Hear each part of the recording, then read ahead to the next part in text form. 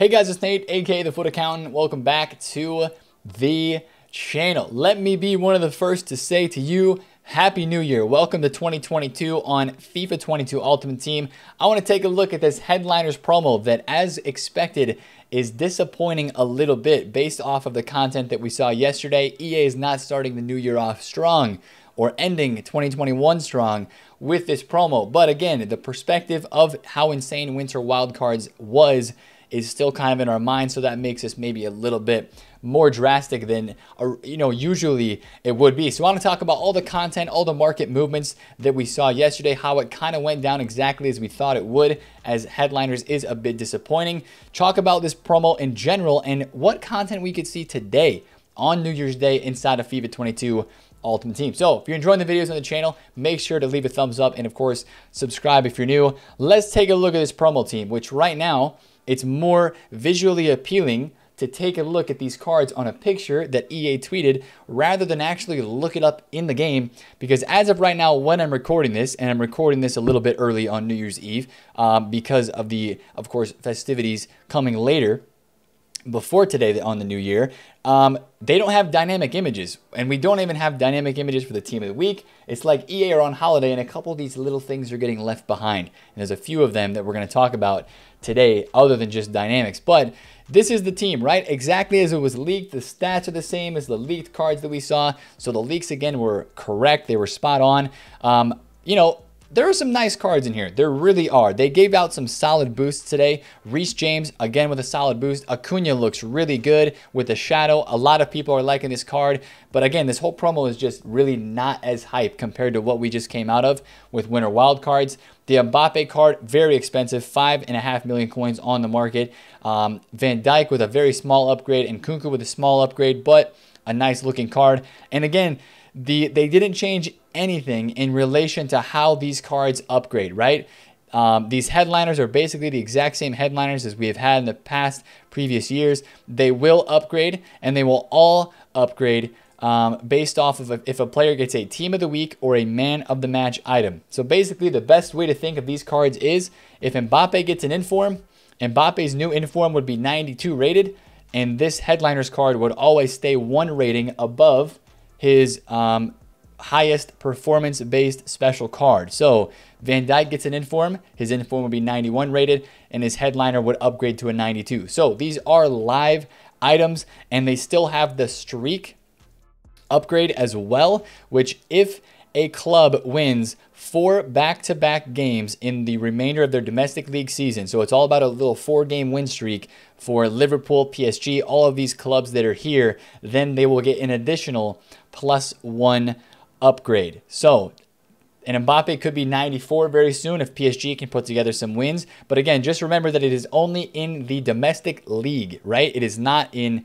doesn't count cup games, doesn't count Champions League. It's only about their specific league games. Those are the only games that count towards this. So some of these players even have games this weekend, right? Today, I believe on Saturday, or maybe even tomorrow on Sunday for sure, you've got Liverpool and Chelsea. So you've got Reece James and Van Dijk both having a potential to start their win streaks uh, from there. So that's how the headliners work. Literally no changes from the previous years. But again, these are live cards.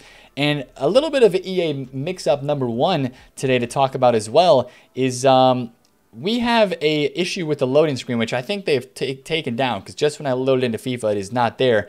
They show Ramsdale on the loading screen as a part of the squad, but on the website and on their Twitter, they show Acuna in the team instead of Ramsdale. So Arsenal fans, you finally have got yourself a special card, but I think it's going to be coming out on the mini release, which will either be today on Saturday or uh, tomorrow on Sunday. So there is a Ramsdale coming. I think that's obviously EA leaked their own card here, but it's not in the game right now. So if you're wondering where that card is, that is the situation with that item. Now, let's take a look at a, a couple of these on the market. Of course, first day prices are always very inflated.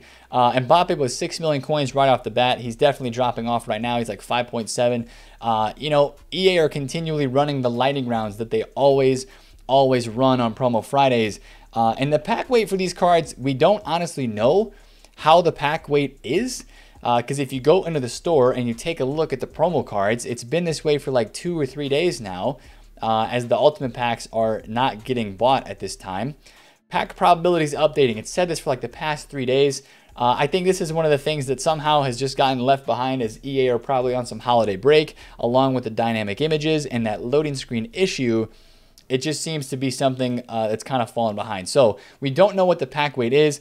It doesn't seem to be really high though. It seems like the pack weight's decently low. Um, even, although these cards have really dropped off in price after the first couple of hours, which usually indicates that there is a lot of uh, supply. It doesn't look like there's an insane amount of supply. Right now, Van Dijk is 720,000 coins. Um, his inform's like 350k, so that's kind of interesting. One card that I think is really cheap at the moment is Reece James. Man, take a look at this item: 140,000 coins for this card. If you take a look and compare him to Trent Alexander-Arnold, who is a you know the most popular right back in the Premier League, uh, most would say. Uh, the rule breaker version of his card, this guy is definitely better as a through and through right back and he's almost the same price. So it's crazy to see how low these headliners are going uh, for some of them on the market. Acuna uh, started off the day today at like 120,000 coins, shot up to about 180K, and is now down at about 100,000 coins flat, which is just crazy because if you look at this card with a shadow item on it, this guy is nuts. You put a shadow on Acuna and he's literally insane. So this card at 100K, I'm sure is going to be really, really fluid and really good in game. Uh, you've got Carrasco, who is down uh, at like 100,000 coins as well. These prices seem really, really cheap for day one, but I think that again is just a testament to how people really feel about this promo. They're not a huge fan, and a lot of cards from the Winter Wildcards team too have actually gone up in price, um, which is something that we kind of talked about um, on the market happening if this promo was not very uh, exciting, which it really is definitely not exciting for most people. So I think these cards are going to stay pretty cheap though, even though they're live.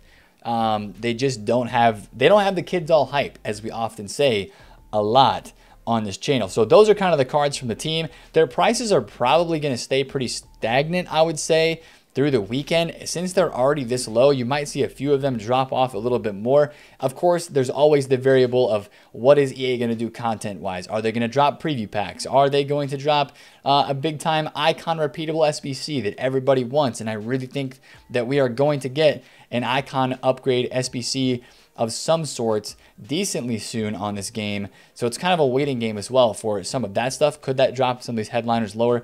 Absolutely, it could. But let's look at some of the other content really fast, and then we'll get into the market side of things.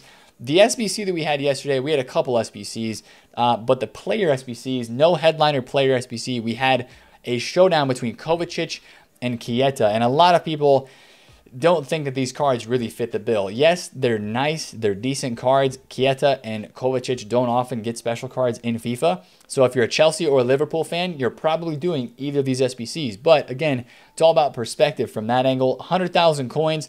These cards look okay, but also what's interesting is the game is in question. So um, if you're doing one of these in hopes of the upgrade, if the game for this this weekend tomorrow were to be postponed or canceled because of uh, COVID, then I would assume that EA would still honor that upgrade and they would keep the SBCs. Uh, you know, like whenever that game is made up, then you would see the upgrade for these cards after that game. Because, of course, the game will be made up since it's a Premier League game, I would believe. And uh, so I think you just have to wait until that game is actually played. So, just kind of a word of thought there. Um, but other than that, we had a they dropped some sort of yeah super sub SBC, which is this is this is kind of different. A coin boost, uh, 500 coins for five matches, interesting. Uh, and then a rare gold pack. But that was kind of all the content in the SBC section. Now, the best content of the day yesterday was literally in objectives, which last year in FIFA 21, we had some nutty objectives. Uh, but this year they haven't been that good. I think this Felipe Anderson card is the best objective item that we have got this year, in my opinion. This card looks insane. They gave him a massive upgrade over his 84. Of course, you're hoping for Lazio and Felipe Anderson, and specifically himself, to perform very well, and this card could upgrade further. Um, a lot of people are like, man, I have Vinny Jr. Why do I want this card? It's free. Literally 10 games. In a max chemistry friendly mode. This is such a W, right? That's why I was a, like, look at this card stats, right? 95 balance, 93 agility, 90 composure. He has 94 shot power, 91 long shots, and the finesse shot trait. He is four star, four star. At the very least, do this objective for your Serie A squad. Uh, for icon swaps because the icon swap friendlies that have been released, uh, they're going to re-release new uh, icon swap stuff and Serie A was one of them. But you know they could very easily release Serie A stuff again or require you to play Serie A squad battles games. So for icon swaps in the future and just for other objectives in this game, I just think that that uh, Felipe Anderson is is a big W. And actually, for one of the first times on this game yesterday, you saw a objective player have so much hype that other items on the market rose up in price because everybody was going to do that objective and they were going to link him. This Milinkovic-Savic was 100,000 coins and he's now up like 20 to 30K because of the link that he has to Felipe Anderson. So W right there with that Felipe Anderson. But it, just felt like the whole game yesterday, people were not very excited. But with that being said, you saw a lot of players from Winter Wildcards Team 2 actually rise up in price. Now, I think, yes, these cards have risen up and there are some nice profits here, but I can only imagine that the rises in price on these cards would have been so much greater if there weren't as many people investing in these. But we talked about it in the past couple videos as well. A lot of people have invested in this guy, Delane, right? And I can only imagine if there was no investing uh, previous to today uh, because when people invest in cards like this, they're expected to go up like right away. So this guy's up like four to 5,000 coins. So I bet if you go on the market and look, people are already selling this card because it's up in price and they're happy with it. Um, but you know, I, I do think that a lot of these cards have risen up nicely. Like Martial was like 740, he's now 790. Alessandrini is up like 10K. Lucas Moura was 560. He's now 600K. Sterling was 360. He's now 400,000 coins. Uh, these cards are, there's nothing stopping them, really. Like, these cards could continue to rise on this game for the next couple of days if the content is continually lackluster. So if you've invested, unless EA do something crazy, these cards are just going to continue to rise up because they are more hyped, more usable, and more people want them than they do with these brand new headliners on this game. So that's my advice to you with some of these cards. Now, if you expect EA to drop preview packs, which would be, you know, something we haven't seen in a long time, or for them to drop an icon SBC, if there is big content that comes very soon, this is what I'll tell you if you've invested in these cards. Right after a lot of people invest in a like uh, in a cards like this for out of packs, if there is a big SBC or some insane content like an icon repeatable or um, an icon player pick or something that you know makes everybody panic, maybe even if they drop preview packs for the for the first time in a long time, uh, you would probably see a lot of this stuff crash because people would be selling their investments so that they could get coins and you know buy the cards that they need to buy uh, to get involved with that new content. So that's the only caveat that I would say with these. I mean, Guendouzi Big, big rise on Guendouzi. Crazy price rise on him. I mean, like he's up, he's 190,000 coins, and I really don't think this guy's going to stop because he is so OP in this game. I've seen him a lot in weekend league. So many people are using him. So if you have a card like this, a lot of the links right now that are hype are also League One and French. So that's why he keeps rising and he keeps rising up higher in price. So just be careful with some of these cards, I would say.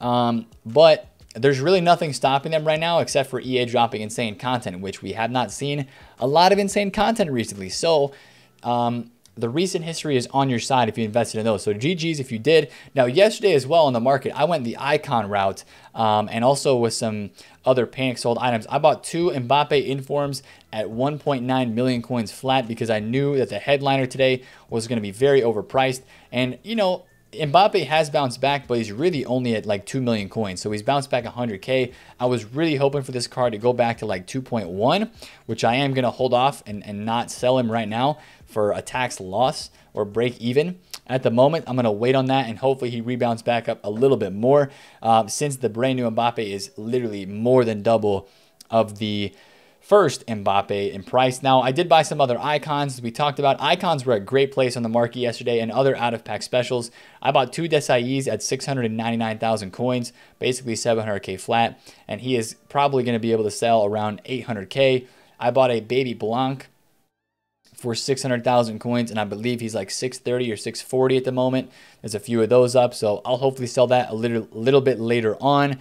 Um, I bought a Cannavaro. So I, ba I basically just went out and bought some rare icons that a lot of people like to use in this game that constantly move in price. I got Cannavaro at, wow, 521. So he was just 540. I'm probably going to be able to sell this at like 540, I believe, later on.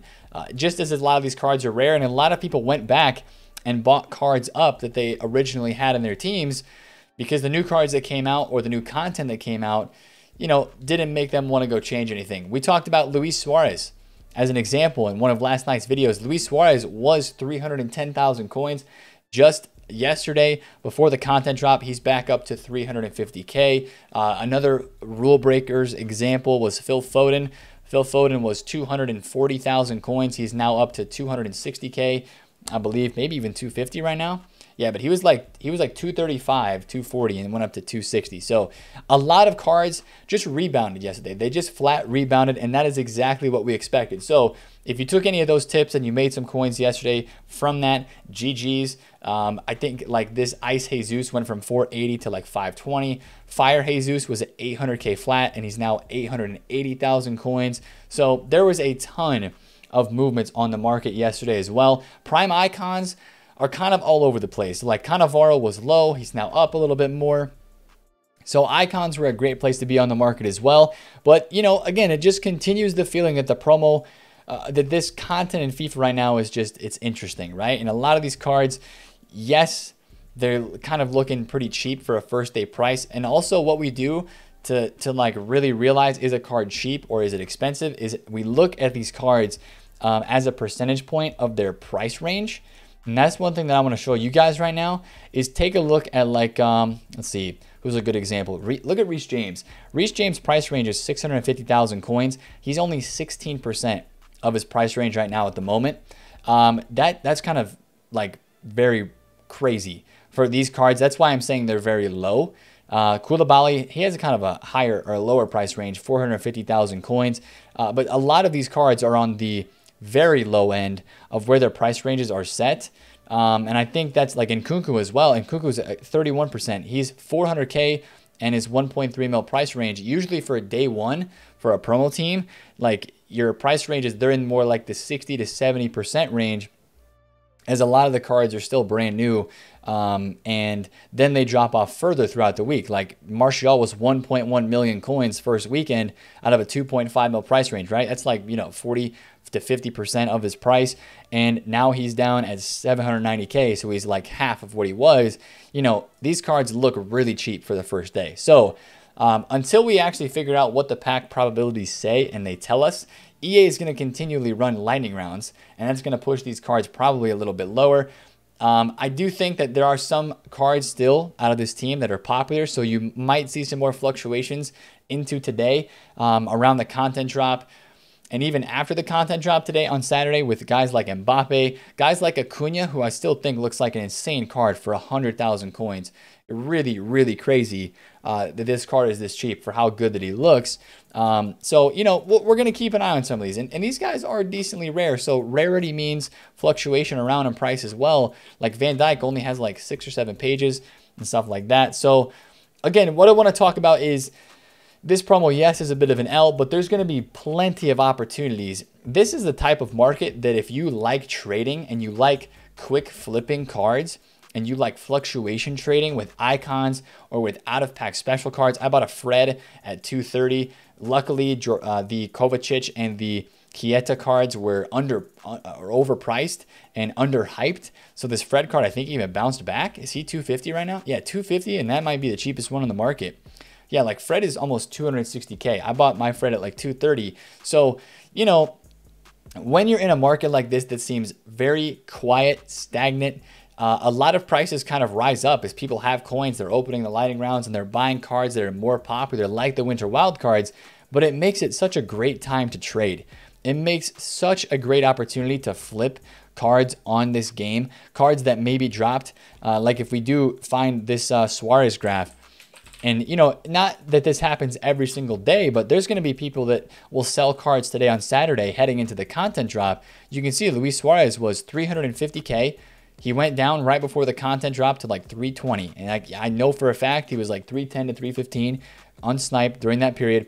And now he's back to 350, almost pushing 360K. So those type of fluctuations that you can see, and maybe we need to we need to make a specific video about how to fluctuation trade because if the content is very slow throughout this whole entire week, this is going to be a fantastic week where a lot of people will not want to work the market because it's not going to be you know, like crazy content all over the place and, you know, the market will feel kind of stagnant, it's going to be a great week to trade. It really is going to be such a fantastic time on the game to trade with cards uh, that are rare and out of pack. So maybe we'll make a video on that later on this week, uh, just so you guys can kind of tune in to some of that fluctuation trading methods if the content does stay pretty quiet. Now, let's talk about today.